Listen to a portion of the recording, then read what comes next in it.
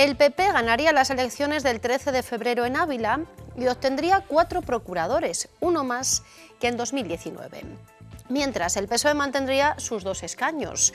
Ciudadanos se quedaría sin representación y el último procurador oscilaría entre Vox y por Ávila.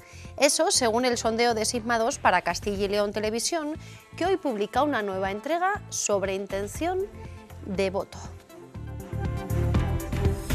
Buenas tardes, ¿cómo están? Es miércoles 29 de diciembre, seguimos conociendo más detalles de esa encuesta para Castilla y León Televisión, pero hay más asuntos, comenzamos con titulares. Donde hoy han visto luz verde los presupuestos para 2022 ha sido en el Ayuntamiento de Ávila, solo de mano de Por Ávila y Ciudadanos, ya que PP y PSOE han rechazado estas cuentas. 65,8 millones de euros que para el equipo de gobierno son unas partidas inversoras y sociales.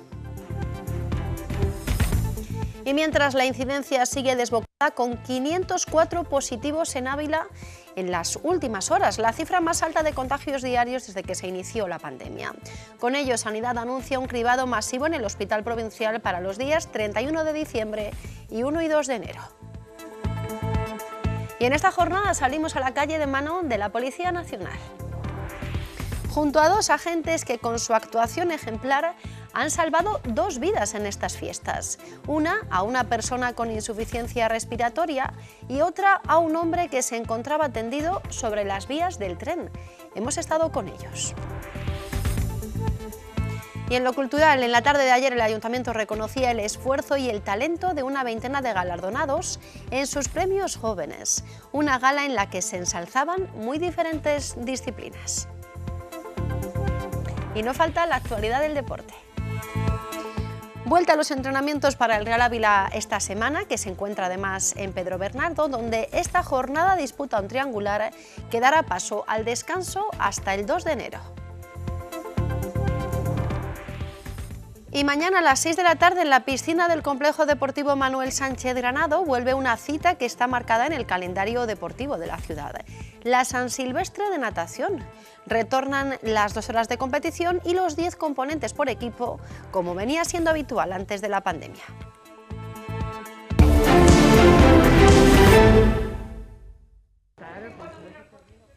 Es la imagen de esta jornada de miércoles 29 de diciembre, cielo poco nuboso en un día en el que la mínima registrada en la capital ha sido de un grado. En la provincia, dos grados negativos en el puerto del Pico, que es la temperatura más baja del día en Castilla y León.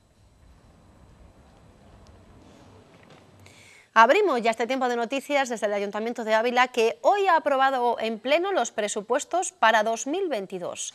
65,8 millones de euros, unas cuentas que el equipo de gobierno defiende como inversoras y sociales. 65.800.000 euros, un 7,9% más que en el ejercicio anterior. Según el equipo de gobierno, es un presupuesto con el que se desea seguir cambiando la ciudad. Es sumamente inversor, porque destina inversiones más de 10 millones de euros, lo que supone un 32% más que el año anterior a la vez que un presupuesto social, pues el área de servicios sociales se destinan 7,3 millones de euros.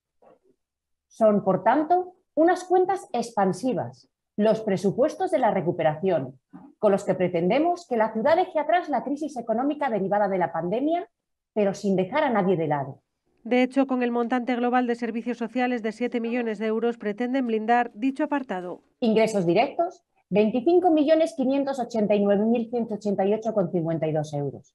Impuestos indirectos, 2.425.950 euros.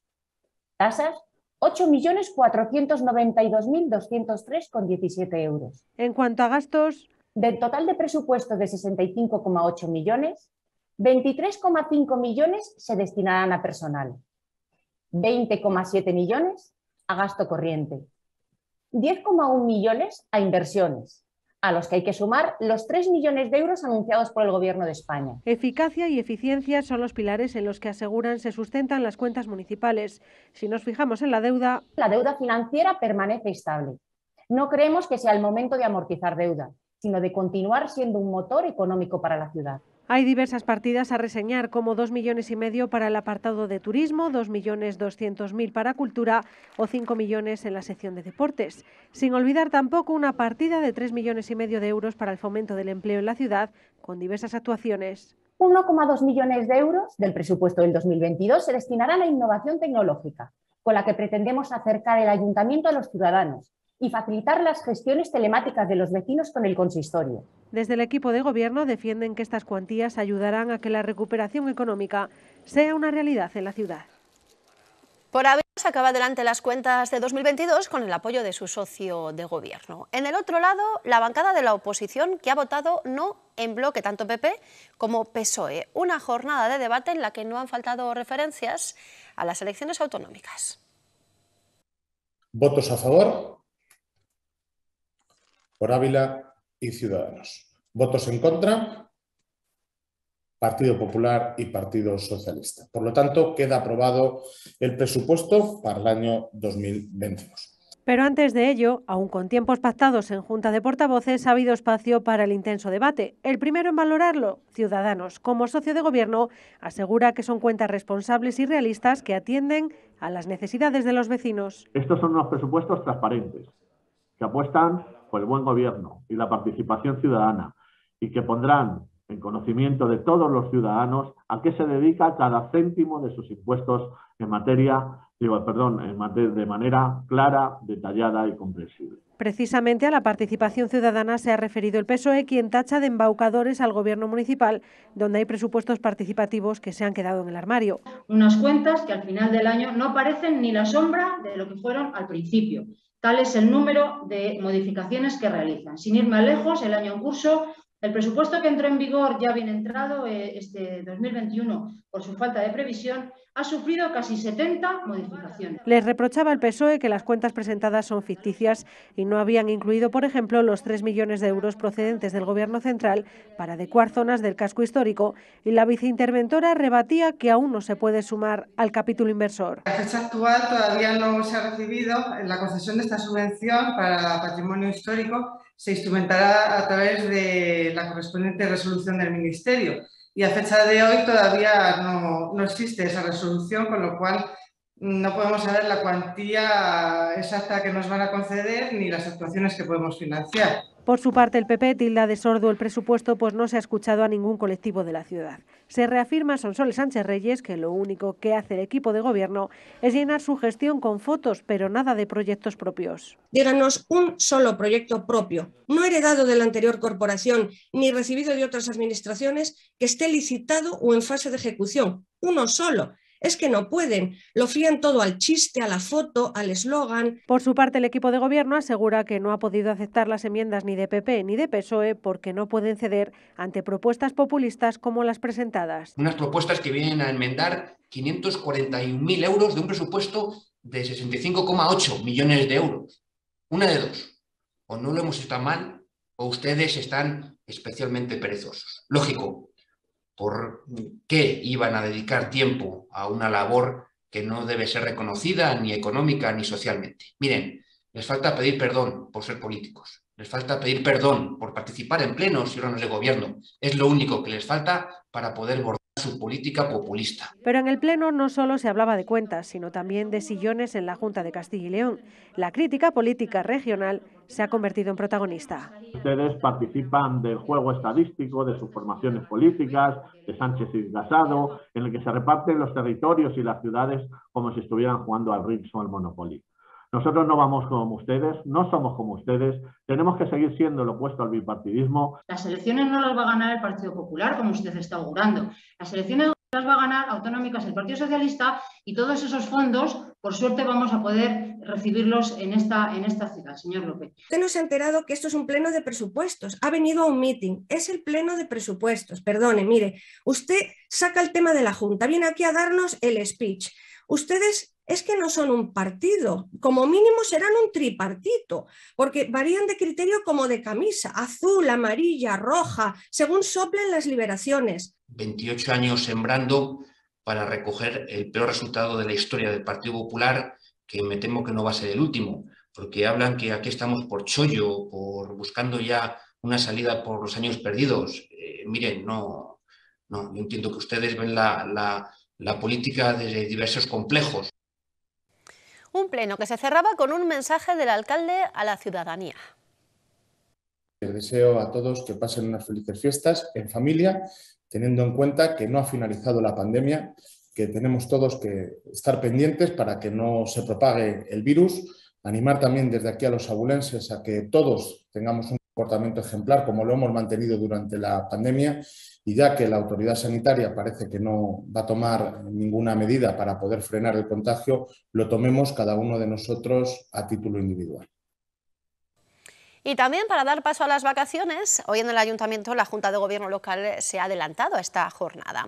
Una sesión en la que se han aprobado inversiones por más de 7 millones de euros para la ciudad, eso sí, ligadas a los fondos europeos.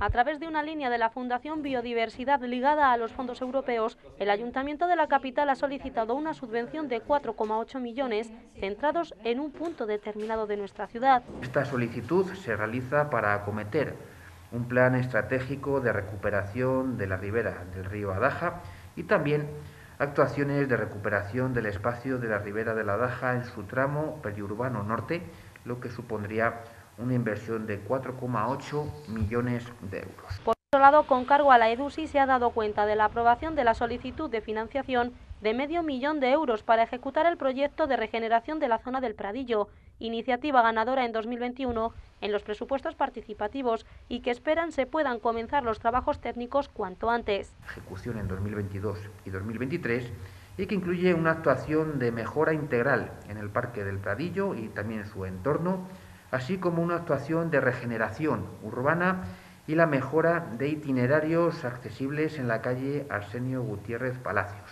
También se van a acometer obras de rehabilitación de infraestructuras y se van a instalar elementos urbanos en toda la zona. Y otros 2,2 millones de euros también con cargo a la EDUSI se destinarán a la regeneración urbana en la Avenida de Madrid, la calle Valladolid y la calle Virgen de las Angustias, además de la mejora de la accesibilidad del Polideportivo Municipal de San Antonio. Una junta de gobierno en la que también se ha aprobado un convenio de colaboración con la Fundación Patrimonio Natural de la Junta para la concesión de una subvención por valor de 50.000 euros para la recuperación ambiental de la zona afectada del incendio de la Sierra de la Paramera. Inicialmente se iban a destinar eh, al Festival Solidario de la Santa, que se celebró en las fiestas de octubre. La aportación, como no podía ser directa a este festival, de modo que la cuantía comprometida por el Ayuntamiento de Ávila se mantiene su destino, pero se canaliza a través de este convenio. Por último, los embalses están al 54% de su capacidad total. Se lo contábamos al inicio de este tiempo de noticias. El PP ganaría las elecciones del 13 de febrero en Ávila y conseguiría cuatro procuradores, uno más que en 2019. El PSOE mantiene sus dos escaños, mientras Ciudadanos se quedaría sin representación y el séptimo procurador oscilaría entre Vox y por Ávila. Eso sí, según el sondeo de Sigma 2 publicado para Castilla y León Televisión, con una nueva entrega en este miércoles sobre intención de voto.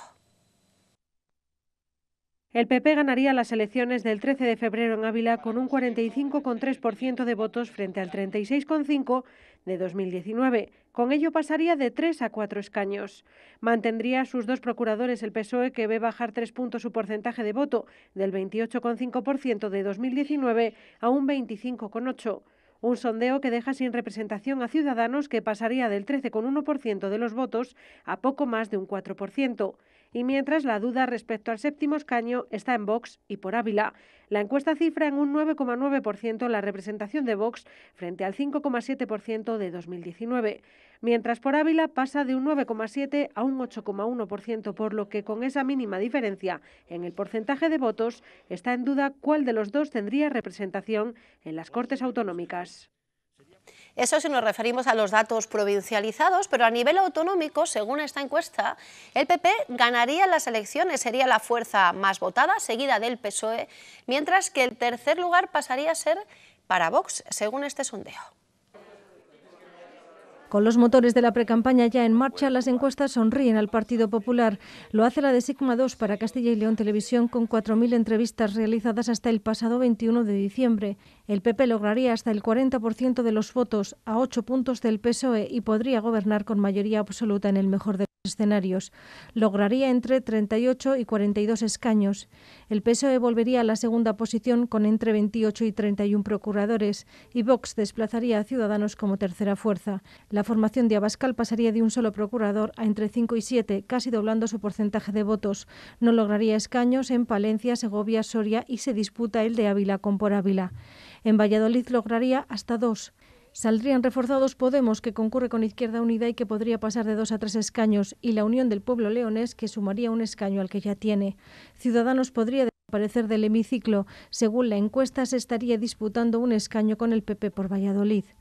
La aparición de otros partidos y plataformas se hace notar con más fuerza en Soria, donde lograrían hasta el 6,9% de los apoyos. Y ante esta encuesta de Sigma 2 para Castilla y León Televisión que ve peligrar el procurador de Por Ávila, ha llegado la reacción de la formación amarilla. Desde Por Ávila las encuestas las, leemos, las tenemos presentes, pero realmente lo que nos expone el sentir del abulense, del ciudadano, es lo que nos transmiten en la calle.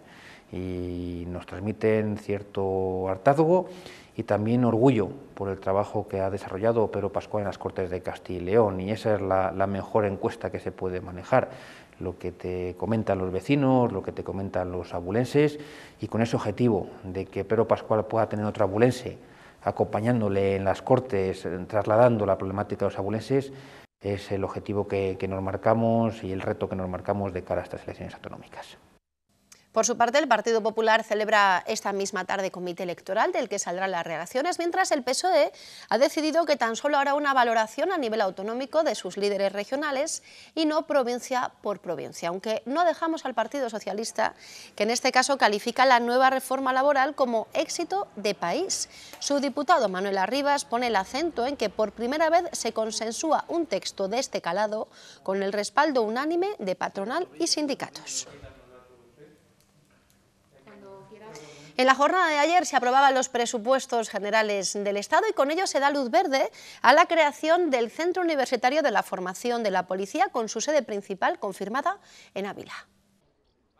Los presupuestos generales del Estado ya aprobados recogen una partida de 4 millones de euros para la puesta en marcha del Centro Universitario de Formación Policial.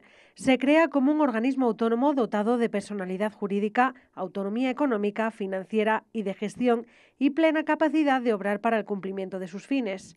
Desde el Ministerio del Interior confirman que su sede principal será la Escuela de Policía de Ávila, aunque para el desarrollo de sus actividades podrá disponer de otras sedes. Su finalidad será impartir a los miembros de la Policía Nacional la formación correspondiente a los estudios universitarios. Dependerá del Ministerio del Interior y se ascribirá a una o varias universidades, aunque en este caso no se recoge de modo explícito su vinculación con la Universidad de Salamanca. Eso sí, recordamos que a finales de abril el rector Ricardo Rivero recibió de mano del director general de la Policía la ratificación de que será centro adscrito a la USAL. Pues ya que hablamos de la policía, les contamos que la rápida intervención de una patrulla de Policía Nacional ha sido decisiva en los últimos días. Los dos agentes que la componen han salvado la vida de dos personas en diferentes actuaciones. Ana Agustín. La formación en técnicas asistenciales de urgencia es imprescindible en los policías nacionales. Las patrullas que trabajan en la calle diariamente han dado muestra de su profesionalidad recientemente, han salvado vidas, aunque también es muy importante la colaboración ciudadana para la inmediatez. Aunque nos reciben en la comisaría de policía de Ávila de forma inmediata, salimos a patrullar con ellos. Es la dotación Ávila 12, que cuando trabajaba en su vigilancia por las calles de la ciudad fue requerida el día previo a Nochebuena por una vecina que alertaba de que en un domicilio se estaba asfixiando una persona y aún no llegaban los servicios de emergencia sanitaria. Lo primero que hicimos fue tomar las constantes vitales y vimos que tenía un pulso muy débil y apenas respiración. Entonces, eh, en ese momento, mi compañero que tiene la misma experiencia que yo no hizo falta las palabras. Fue mirarnos y en este momento sabíamos lo que hacer. Cogimos al, varón en volandas, lo llevamos hacia el dormitorio y lo pusimos en posición de seguridad y es que la formación en primeros auxilios es imprescindible para estos agentes. También la colaboración ciudadana. Gracias al aviso de una persona, esta patrulla conseguía un día después rescatar de entre las vías del tren a su paso por la ciudad a un hombre caído entre los raíles. Y entonces, pues claro, tienes que actuar muy rápido porque hay que cortar la vía, el tráfico de los trenes. Y mi compañero y yo nos dirigimos a cortar el tráfico de trenes y mis otros compañeros pues sacaron a la persona. Y evitaron un trágico desenlace, situaciones las vividas por estos policías con 15 años de servicio a sus espaldas que no olvidarán fácilmente y que requieren de inmediatez en las decisiones y de una preparación completa. Mientras, la Guardia Civil ha desarticulado una banda dedicada a vender cocaína en las Navas del Marqués. Se ha detenido a cinco personas, cuatro hombres y una mujer por presuntos delitos de tráfico de drogas y asociación ilícita. En los registros practicados se incautaron casi 200 gramos de hachís, 22 de cocaína, dos básculas de precisión y 200 gramos de sustancia de corte. Nuevo récord de positivos diarios, se lo contábamos al inicio de este tiempo de noticias. Si ayer se alcanzaba con 359 casos diagnosticados, Hoy de nuevo se vuelve a superar con 504, la cifra más alta desde que comenzó la pandemia. Y a ello se suma un fallecimiento en las últimas horas y son ya 406 en el complejo asistencial abulense. En este momento son 52 los brotes activos, 4 más que ayer, con 529 casos vinculados que son 100 más. Hay 16 personas ingresadas en planta, 3 menos que ayer y 6 en la UCI. Y con la incidencia desbocada, Sanidad organiza un cribado en Ávila para los días 31 de diciembre, 1 y 2 de enero. Será en el Hospital Provincial de 9 de la mañana a 7 de la tarde. Se realizarán test de antígenos a personas de la ciudad que tengan síntomas compatibles con el COVID o hayan resultado positivos en un test de farmacia. No deberán acudir quienes sean contacto estrecho asintomático, se encuentren en cuarentena o no tenga síntomas.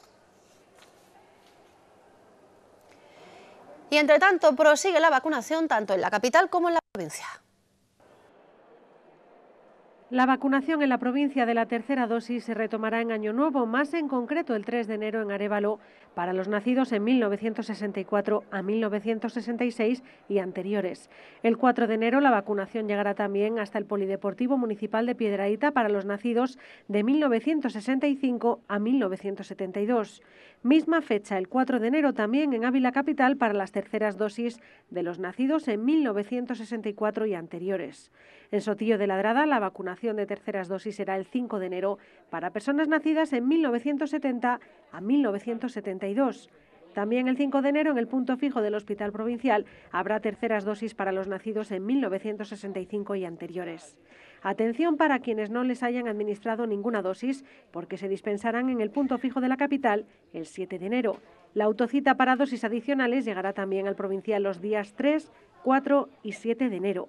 En cuanto a vacunación infantil, hay dosis para los nacidos en 2015 de los meses de enero, febrero y marzo. Se pondrán en horario de mañana el próximo 3 de enero.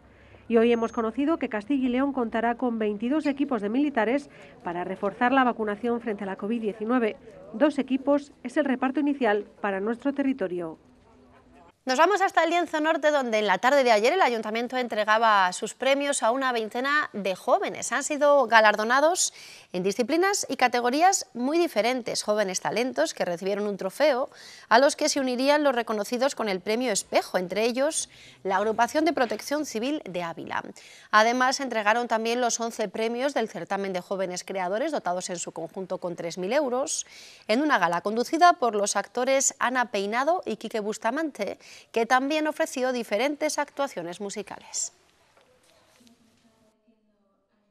Desde el Ayuntamiento, desde la ciudad de Ávila, queremos reconocer a los mejores jóvenes que destacan en distintas especialidades, en distintas creaciones, en distintos valores y que son un ejemplo para la sociedad. Este galardón que nos, que nos da por toda la trayectoria y por todo el trabajo que estamos, que estamos realizando en, en la agrupación. Es momento ahora para el deporte.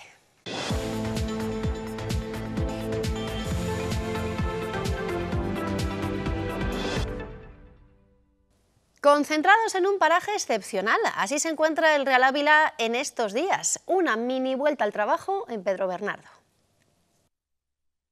El Real Ávila disfruta estos días de una concentración en el Valle del Tietar, más en concreto en Pedro Bernardo. En la tarde de ayer ya realizaron una sesión para rodar en estas fechas. De hecho, hoy disputan un triangular con el Atlético Candeleda y Pedro Bernardo Club de Fútbol. Los encarnados tras estos encuentros tendrán vacaciones hasta el 2 de enero, cuando volverán al trabajo para preparar el cuarto trofeo de Reyes que les enfrenta al Club Deportivo Benavente el 4 de enero en el Estadio Luciano Rubio de la localidad zamorana. Y mañana a las 6 de la tarde en la piscina del Manuel Sánchez Granado vuelve una cita marcada en el calendario deportivo de la ciudad, la San Silvestre de Natación.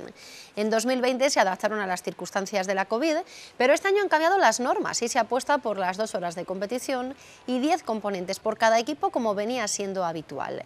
El número de conjuntos que participarán se eleva hasta 6 en esta séptima edición.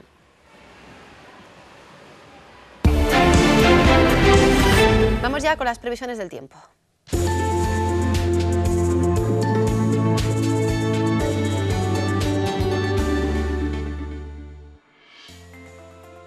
Valores primaverales tendremos en la jornada del miércoles y del jueves en Ávila Capital y también en el resto de la provincia, es lo que anuncia la Agencia Estatal de Meteorología. Pero centrémonos en mañana miércoles, donde las temperaturas podrían oscilar los 4 grados de mínima y 15 de máxima en Ávila Capital. En el Valle del Corneja, esos cielos despejados serán los grandes protagonistas también de la jornada y en horas centrales del día podrían registrar una temperatura máxima de 14 grados. Ligeramente inferiores a los de días pasados serán los valores en el Valle del Tietar, registrando máximas de 15 grados, por ejemplo, en Arenas de San Pedro. En el Alto Tietar también esas temperaturas oscilarán entre los 14 y 15 de máxima en Ladrada, en Santa María del Tietar, en Sotillo de Ladrada e incluso en Ladrada. En el Valle del Alberche, cielos parcialmente cubiertos, en Cebrero o el Tiemblo y cielos despejados en el Barraco. Temperaturas que oscilarán entre los 5 de las mínimas y 13 en las máximas en Tierra de Pinares, con esos 4 de mínima en las Navas del Marqués o 12 en las máximas. De cara a mañana en la capital tendremos cielos parcialmente cubiertos en horas centrales del día, eso sí llegando a alcanzar los 15 grados de temperatura máxima. Y de cara a los próximos días, atención porque esos valores máximos podrían llegar incluso a los 18 grados, temperaturas más que primaverales. Pues con el tiempo nos vamos. Gracias por estar ahí.